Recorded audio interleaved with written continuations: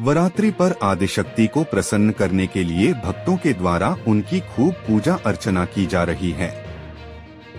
सुबह शाम देवी मंदिरों में श्रद्धालुओं की भीड़ उमड़ रही है।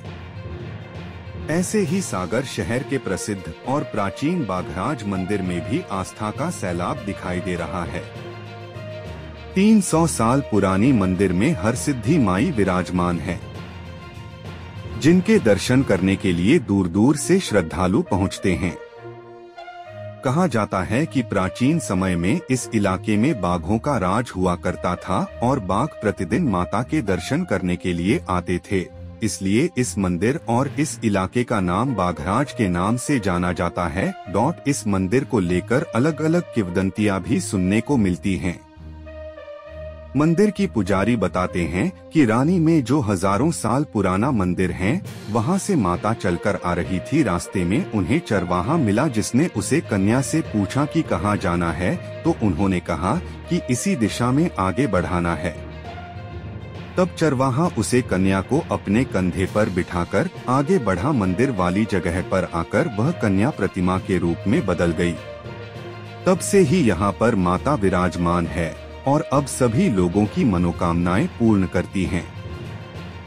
वहीं इसके अलावा यहाँ पर एक अजगर दादा की किवदंती भी है ऐसा बताया जाता है कि यहाँ पर एक गुफा है, जिसके अंदर भारी भरकम अजगर रहते हैं और भी हर बार किसी न किसी रूप में माता के दर्शन करने ज़रूर आते हैं और इसके साक्ष्य भी मिल जाते हैं इनकी विशालता इतनी है कि कभी भी किसी ने अजगर को पूरा नहीं देखा है।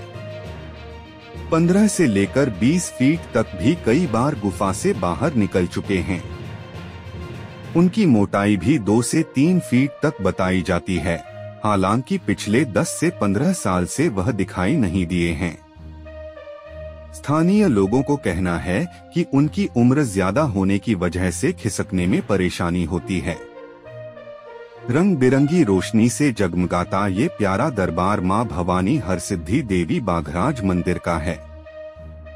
300 साल से अधिक पुराने इस मंदिर का कुछ समय पहले पुनर्निर्माण कराया गया है।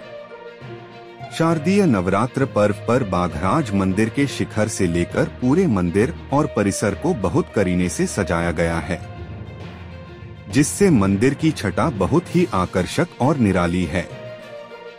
नवरात्र में यहाँ रोज़ाना भक्तों की भीड़ रही, परंतु महाअष्टमी और नवमी पर भक्तों की कतार लगी रही।